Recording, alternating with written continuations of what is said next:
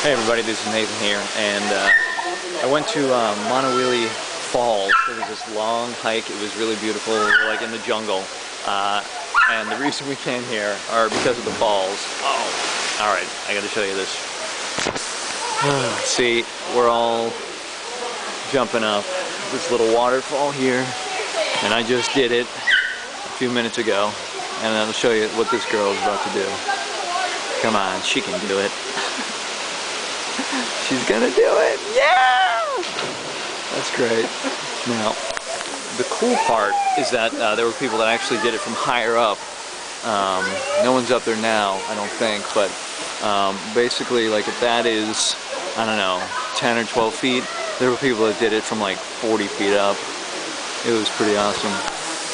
And, you know, even watching from 40 feet up, you know, them do it, which was pretty crazy you know, I saw the 12 feet. I'm like, oh, that's going to be nothing. And you get out there, you still get a lot of uh, anxiety coming up, but you just got to push through it and know that you'll be okay. So, pretty awesome. So glad I came out here. Uh, gorgeous area. I hiked way up past the waterfall. Oh, I didn't even show you the waterfall. So.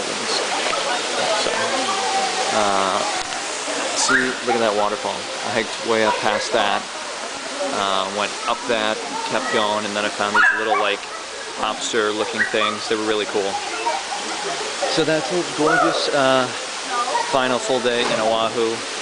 Uh, gonna go out to Kauai. Uh, and I love it. This is beautiful. All right. See you later.